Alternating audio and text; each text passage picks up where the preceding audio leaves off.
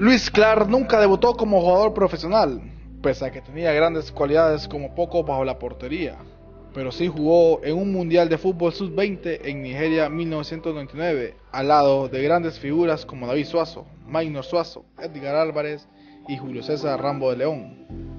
La historia de Luis Clark es única, ya que desde que era un niño, Dios le tenía preparado un camino que era diferente al resto. Él soñaba con ser portero profesional, y aunque nunca pudo debutar, en su rostro no se mira un gesto de sección por haber logrado este sueño, debido a que siente en su corazón que tiene a Cristo y es lo más importante para él. Clark es ahora un pastor evangélico que vive en Miami, pero que camina viajando por todos lados dando la palabra de Dios. Su ministerio se llama Abraza tus sueños. Este era arquero de fútbol y nunca renegó porque no pudo debutar como jugador. Aunque fue inscrito en la Liga Nacional con Real España, en el 2004 no tuvo la posibilidad de jugar ni aunque sea un solo minuto. Dentro de mi corazón que, Dios quería que yo no siguiera jugando. Una, si seguía jugando iba a perder mi matrimonio.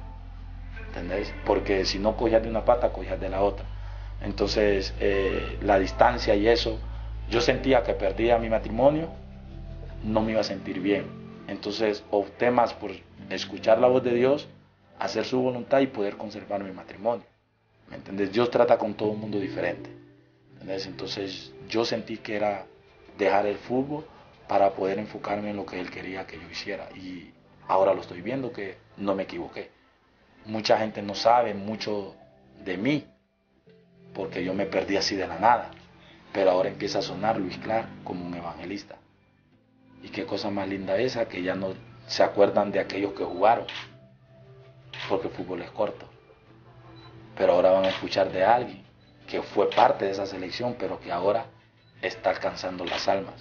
Y yo tengo un chiste, yo inventé un chiste muy, muy, muy peculiar, donde se muere Luis Clark, ¿verdad? Y se va al cielo. Pero allá en el cielo ya le ponen el gafete de capitán en la selección del cielo y es él y diez más en la selección del cielo por las almas que se pudo ganar en esta tierra para Dios. Y Dios me da ese privilegio de ser yo el titular de la selección del cielo. Se muere Iker Casillas, sube al cielo, se presenta Iker Casillas con Dios. Le dice, yo soy Iker Casillas, tengo campeón del mundo, campeón juvenil, campeón Eurocopa, campeón de liga, guante de oro, esto, lo otro, pa, me vengo a presentar y estoy aquí a la disposición para ser parte de la selección. Entonces lo va a agarrar, señor, le dice, oh, qué bien ganaste todo eso, muy bueno. Tú ves a aquel negrito ahí entrenando, le va a decir. Sí, tú lo conoces a él. No.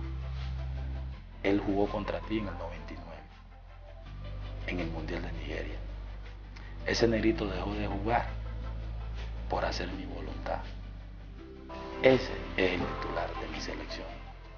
Lo siento, aquí tú no puedes estar. Y lo van a agarrar los demonios, se lo van a llevar al infierno, siempre y cuando si que el Casillas no se arrepiente.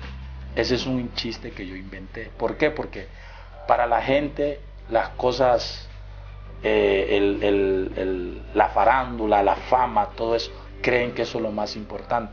Yo no estoy, eh, eh, no es que está mal, pero realmente yo creo que eso no es el propósito de Dios para nosotros. El propósito de Dios yo creo que es que nosotros, tanto como podemos ser exitosos en eso, también Él quiere que seamos exitosos ganando las almas para Él. Yo quiero que tú abras tu corazón y abras tu oído espiritual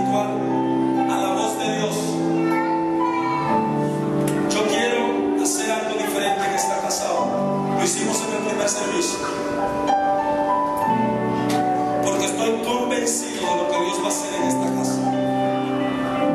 Lo puedo ver, lo puedo sentir en el Espíritu. Cosas grandes vienen, no solo para la familia pastoral, sino que para cada uno de ustedes. Dios va a llevar la barca de cada uno de ustedes a su puerto seguro. Yo compartí en la mañana que cuando uno va a pescar, uno sin pesquería saca pescar.